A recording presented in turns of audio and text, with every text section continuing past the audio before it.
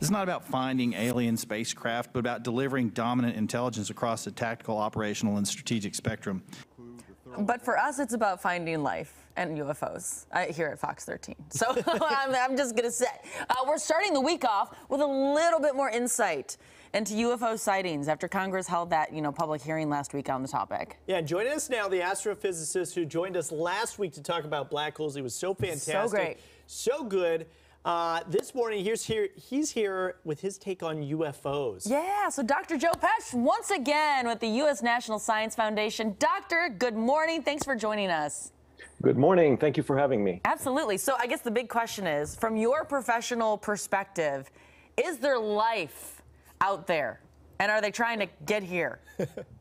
Okay, so so two parts to this. Uh, I would be very surprised if there is not life out there, and almost certainly there's going to be uh, very simple life forms. You know, single-celled things. I think that's everywhere. Uh, the question is: Is there intelligence, intelligent life out there? And you know, the, I think the odds are a little bit less than the simple life, but I would would be surprised if there aren't other uh, intelligent life forms around our galaxy and elsewhere.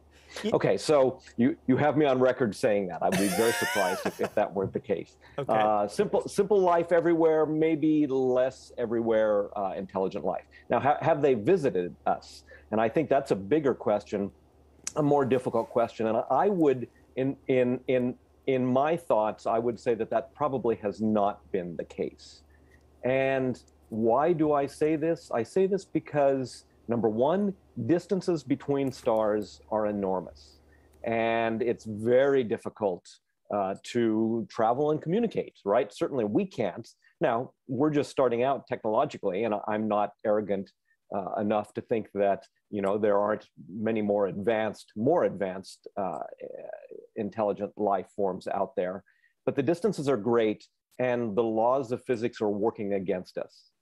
In addition, we're kind of in the middle of nowhere, right? So why us? Even if if uh, aliens could could travel those large distances. Now, you know, we don't know everything about the laws of physics, and our understanding changes, and we learn new things as we move forward. And so, you know, maybe there is uh, something within the laws of physics that will allow interstellar travel.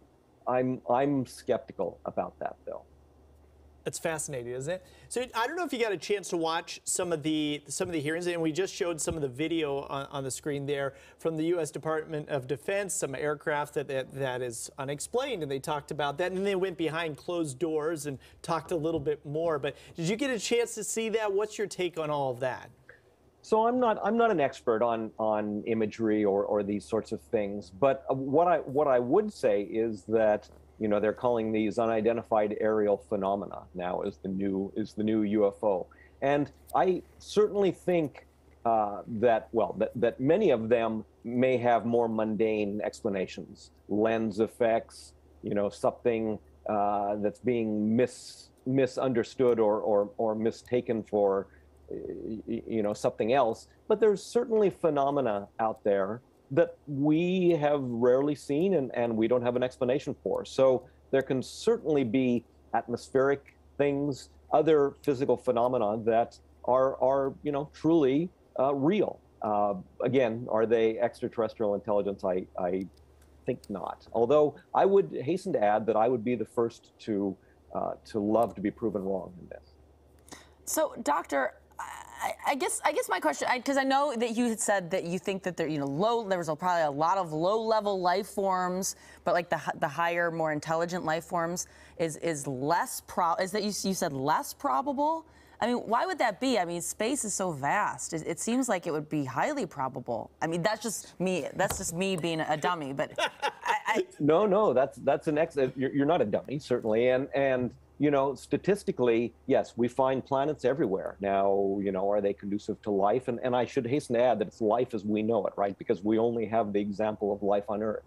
But using that example of life on Earth, you know, we see single celled life forms, very simple life forms, very early in the history of the Earth. And so that adds, I think, to, to, to, to my thinking that because of that, those simple life forms are everywhere but then you look at, at the example on Earth and intelligent life, us, for example, or other other species that, that, that are intelligent, don't come until quite late in the history of the Earth. And so, again, statistically, we might expect to see fewer uh, in, of those intelligent uh, species out in interstellar space. You, you know, the Doesn't other mean that they don't exist.